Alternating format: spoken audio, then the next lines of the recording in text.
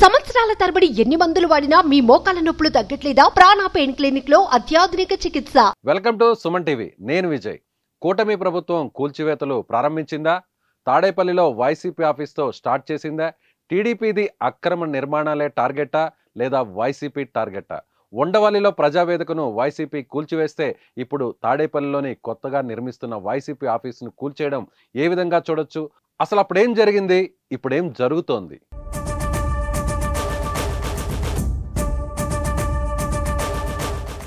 YCP office కూల్చివేత ఘటన గురించి మాట్లాడే ముందు ఒకసారి తప్పనిసరిగా గతంలోకి వెళ్ళాలి. రెండు వేల పంతొమ్మిది జూన్ ఇరవై ఆరున ప్రజా వేదిక కూల్చివేత గురించి మాట్లాడుకోవాలి.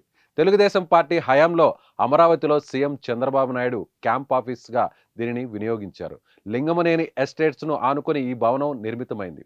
ఉండవల్లి గ్రామ పరిధిలోని కరకట్ట మీద రాజధాని ప్రాంత అభివృద్ధి ప్రాధికార సంస్థ ఆధ్వర్యంలో జరిగిన ఈ నిర్మాణంలో రెండేళ్ళు అటు ప్రభుత్వ అలాగే ఇటు టీడీపీ పార్టీ కార్యకలాపాలకు ప్రజావేదిక కేంద్రంగా ఉంటూ వచ్చింది. అయితే వైసీపీ అధికారంలోకి రాగానే ప్రజావేదికపై చర్యలు చేపట్టింది.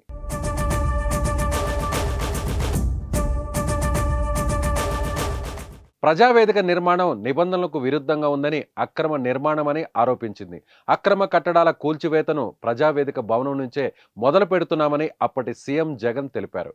వెంటనే ఏ మాత్రం ఆలస్యం చేయకుండా కలెక్టర్ల సమావేశం ఏర్పాటు చేసి అధికారులకు కీలక ఆదేశాలు జారీ చేశారు. సీఎం ఆదేశాలతో అధికారులు ప్రజావేదికపైకి జేసీబీలతో దూసుకొచ్చారు.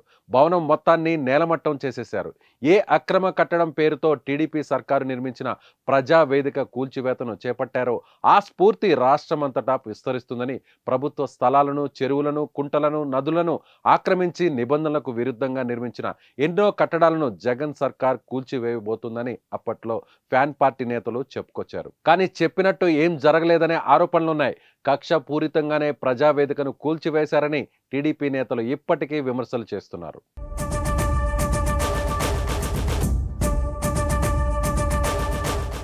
కట్ చేస్తే కరెక్ట్గా ఐదు సంవత్సరాల్లో కథ అడ్డం తిరిగింది. ఎన్నికల్లో వైసీపీ ఘోర పరాజయం పాలై టీడీపీ జనసేన బీజేపీ కలిసిన కూటమి ప్రభుత్వం అధికారంలోకి వచ్చింది. చంద్రబాబు సీఎం అయ్యారు. ఇప్పుడు తాడేపల్లిలో నిర్మాణంలో ఉన్న వైసీపీ కేంద్ర కార్యాలయాన్ని అధికారులు కూల్చివేశారు. స్లాబ్కు సిద్ధంగా ఉన్నటువంటి భవనాన్ని రాష్ట్ర ప్రభుత్వం తెల్లవారుజామున ఐదు గంటల ముప్పై నిమిషాలకు భారీ పోలీసులు బందోబస్తు మధ్య కూల్చివేతలను ప్రారంభించింది. అక్రమ నిర్మాణం కారణంగానే నేలమట్టం చేస్తున్నట్లుగా సిఆర్డీఏ అధికారులు చెబుతున్నారు. దీనిపై మాజీ సీఎం వైసీపీ అధినేత రెస్పాండ్ అవుతూ ఎంత మాత్రం కక్ష సాధింపు చర్యలకు తలగ్గేది లేదని వెన్ను చూపేది అంతకంటే లేదని జగన్ ట్వీట్ చేశారు. వైసీపీ ఆఫీస్ కూల్చివేతతో ఏపీ రాజకీయం మరోసారి వేడెక్కింది. అప్పుడు ఉండవల్లిలోని ప్రజావేదికను కూల్చి వైసీపీ పాలన మొదలు పెడితే ఇప్పుడు తాడేపల్లిలో వైసీపీ ఆఫీసును కూల్చివేతతో టీడీపీ ఆరంభించిందని రాజకీయ పండితులు మాట్లాడుకుంటున్నారు.